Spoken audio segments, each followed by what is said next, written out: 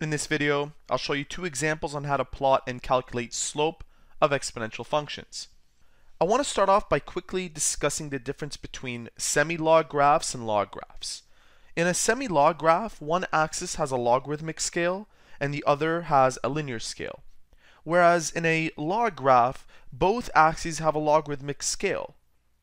That being said, question 1 reads, plot the following exponential function for x is equal to 1 through 10 and calculate the slope of the resulting line on semi-log paper. The function that we are operating with is y is equal to 100 times e to the power of negative 0.2x. And remember, this is an exponential function because it follows the template y is equal to a times e to the power of negative nt. So we're going to expect exponential decay due to this negative. The semi-log paper that I have is shown below. And I'll start off by evaluating what happens between 0 and 10. Even though the question mentions 1 through 10, it's always good to start off at 0. So using our calculator to do this, we have for the first point 100 times e to the power of negative decimal 2 times 0. And this gives us 100. For the next input 1, all I have to do is change this 0 into a 1 and that gives me 81 decimal 87. I'll do this for the rest of the inputs, and these are the following outputs you should get. So I've gone ahead and filled this out. Now I have to plot these points. The first point that we'll plot is 0 and 100. The next point is 1 and 81 decimal 9. So just to be aware of what's happening here, this is 10, this is 20, this is 30, 40, 50, 60, 70, 80, and this is 90. So 1 and 81 decimal 9 will be between 80 and 90. So that should be approximately here. Our next point is 2 and 67. 2 and 67 will be between 6 and 7. So around here. 3 and 54 decimal 9. 3 and 54 decimal 9. That's around here. 4 and around 45. 4 and around 45 is here. Instead of wasting your time showing you how to plot the rest, here's what it should look like. Now you can try to connect these points with a smooth curve. I'll try my best. And to find the slope, I need to use the formula rise over run. So recall that slope is equal to rise over run. And what I have to do is pick two points. I'll pick this point and I'll pick this point. This point has the coordinates 10 and 13 and a half. This point has the coordinates 0 and 100. My run is the distance from here to here, and that's 10.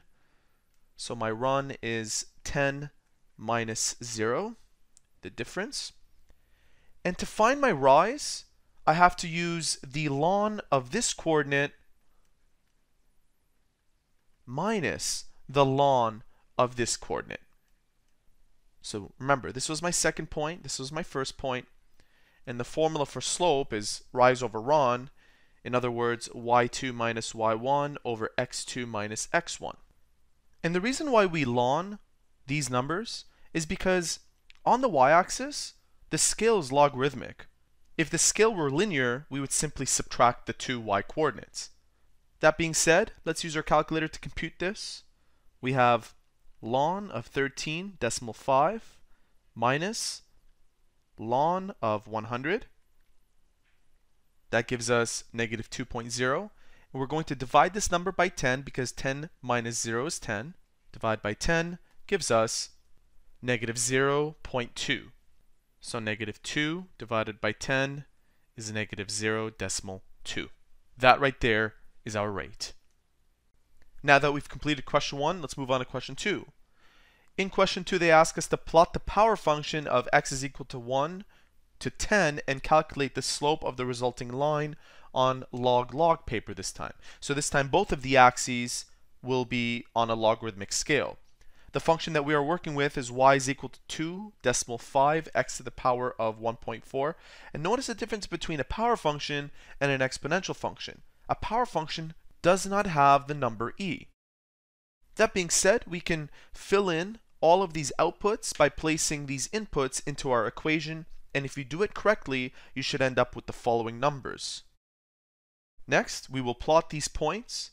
And notice that in this table, we didn't have x is equal to 0, because if we place x is equal to 0, we'll just end up with 0, so there's no point to it. The first point that we'll be plotting is 1 and 2.5. 1 and 2.5 is, well, that's 1, and 2.5, this will be 2, 3, 4, 5, 6, 7, 8, 9. Okay, so 1 and 2.5 will be right here. My next point will be 2 and 6.6. So 2, this is my 2, and 6.6 will be in between these two lines. 3 and 11, that's 3, and 11 should be around here because this next line represents 20 on the y-axis. My next point is 4 and 17.4. So that's 1, 2, 3, 4. And 17.4 should be somewhere here. 5 and 23 decimal 8. 1, 2, 3, 4, 5. Should be over here. 6 and 30.7. 1, 2, 3, 4, 5, 6. And 30 should be that third line. That's 20 and that's 30 and the rest of the points should be plotted like this. Now just to be clear, this is 20, 30, 40, 50, and 60. Now, I can try to draw a line that passes through these points. Now, this point may be a little bit off, so I'm going to assume that that's my mistake. And the line should look like this. Now I need to find the slope using rise over run. So slope is equal to rise, and both of the rise and the run now will be lawned. So taking this point and this point, this had the coordinates 1 and 2 decimal 5. This one had the coordinates 10 and 62.6. Subtracting ln of 62 decimal 8 minus ln of 2.5 over ln of 10 minus ln of 1. Using the calculator, ln of 62 decimal 8 minus ln of 2 decimal 5 divided by ln of 10 minus ln of 1 gives us the slope of 1.4. So the slope represented by the letter m is 1 decimal 4.